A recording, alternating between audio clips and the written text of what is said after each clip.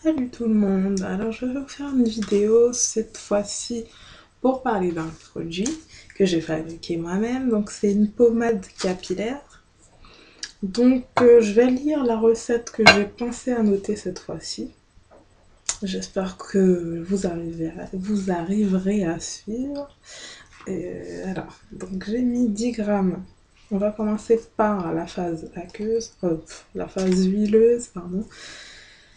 Alors, dans la phase huileuse, j'ai mis 10 g de beurre de tucuma, 10 g de beurre de mangue, 30 g d'huile de copra, donc euh, c'est pas de l'huile de coco à ce que j'ai pu comprendre. Je sais pas si vous vous rappelez de cette huile là que je critiquais et que je disais qu'elle sentait pas du tout le coco et tout.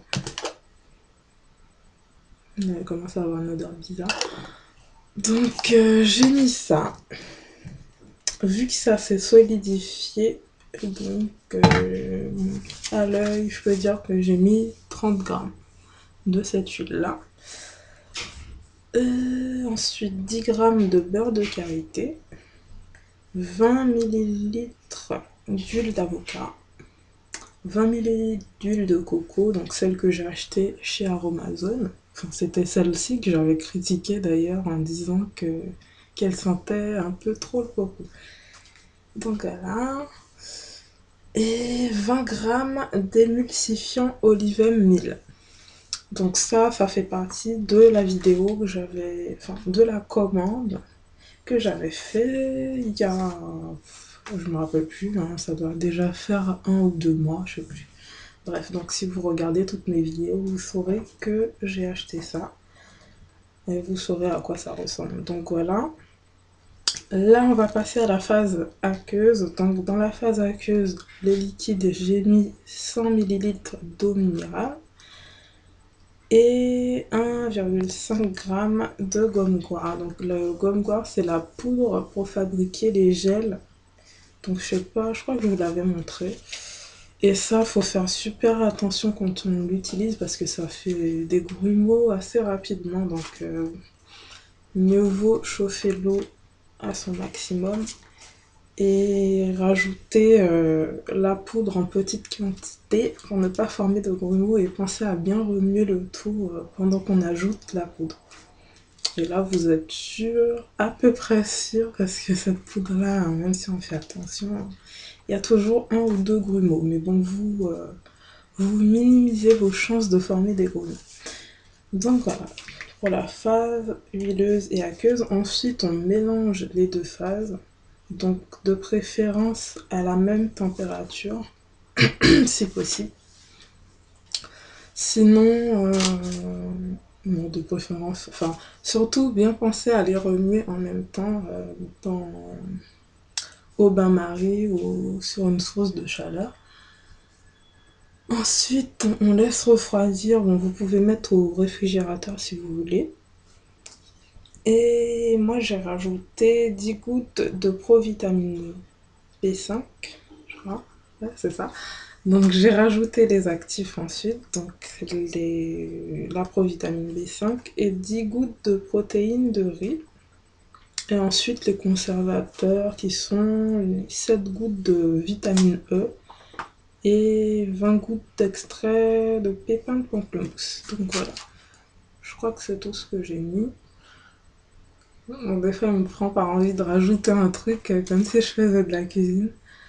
Mais là, je pense que j'ai dû rajouter quelque chose, mais je me rappelle plus. Si je m'en souviens, je referai une vidéo.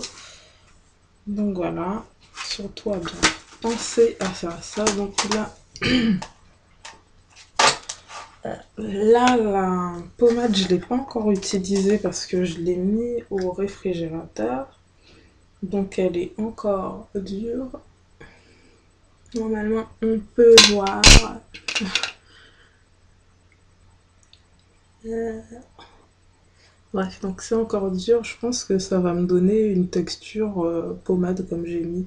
Mais ce que j'ai peur, c'est que les deux phases ne se soient pas bien mélangées. Parce que j'ai gardé une petite partie, enfin un reste du produit. Ah non, c'est pas ça. Même pas ça. Attendez.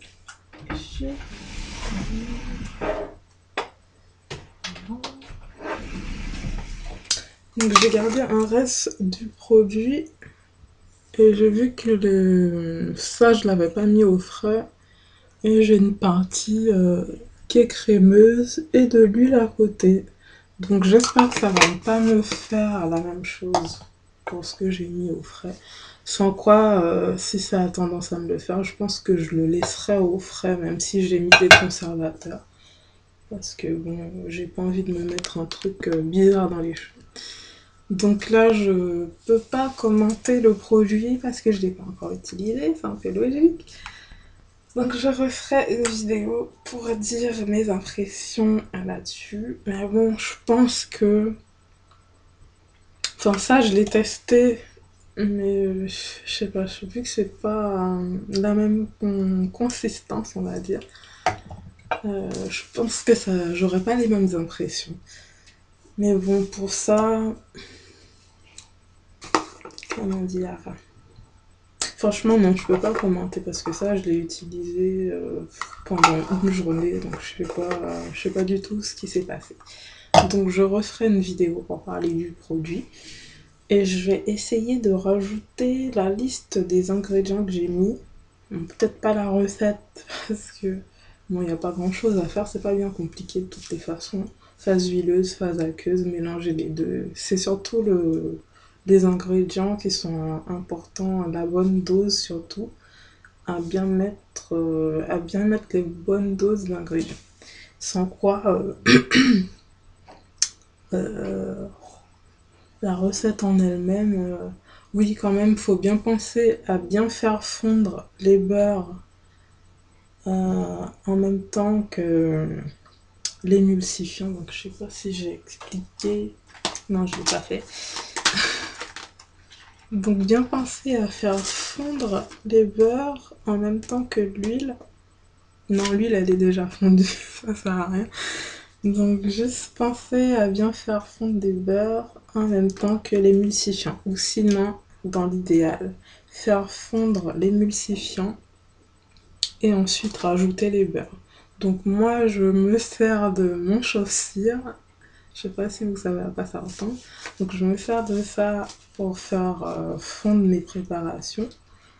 Sans quoi, ben, ils vendent des appareils chez Aromazone ou euh, d'autres endroits.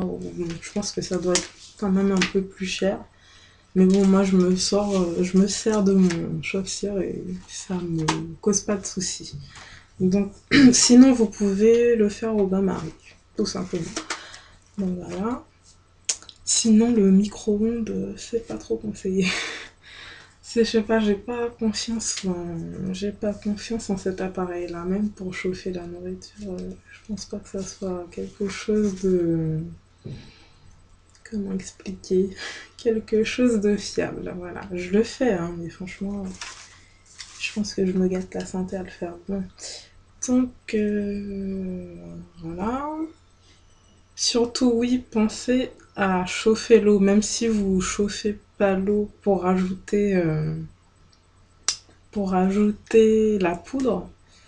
Pensez quand même à chauffer l'eau pour qu'elle soit à la même température que votre phase huileuse. Parce que si les deux sont pas à la même euh, température, c'est un petit peu ça mon problème. Donc ce que moi je fais, je me sers quand même du micro-ondes, je mets l'eau à chauffer. Et en même temps que l'huile, l'huile et les beurres fondent, je fais l'eau chauffer comme ça, ça peut être environ à la même température. Mais moi je pense que c'est pas tout à fait à la même température. Comme j'ai pas j'ai pas de thermomètre, donc je peux pas savoir.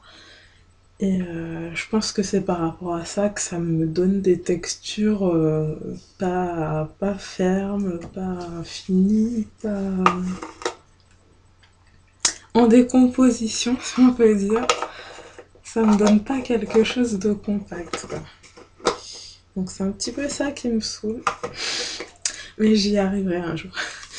Donc voilà. Je crois que j'ai tout dit. Euh...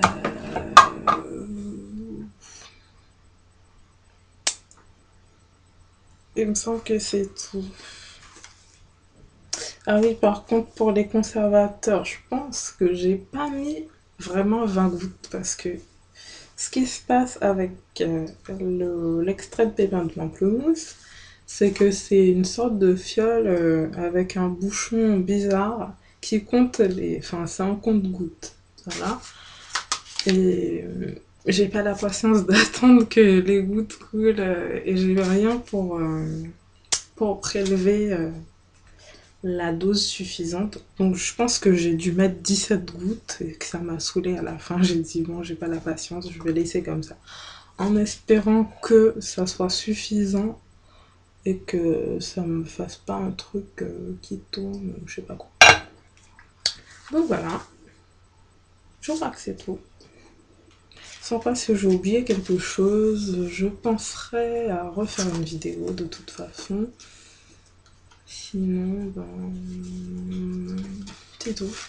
Bon, cette fois-ci, j'ai pensé à me maquiller. Je pense que ça ne se voit pas trop, mais j'ai pas la même tête de zombie que l'autre fois. Enfin, si, peut-être par rapport au cernes, que j'arrive pas, j'arrive pas à me débarrasser de ça. Je pense que je dois pas dormir assez. Enfin, je dois pas dormir aux bonnes heures. Je me couche assez tard. Donc, je pense que ça doit être pour ça. Donc, euh, si vous avez d'autres solutions, je suis preneuse. Donc, si vous avez euh, des questions, des commentaires, des appréciations à laisser, n'hésitez pas. Et voilà. À la prochaine. Salut.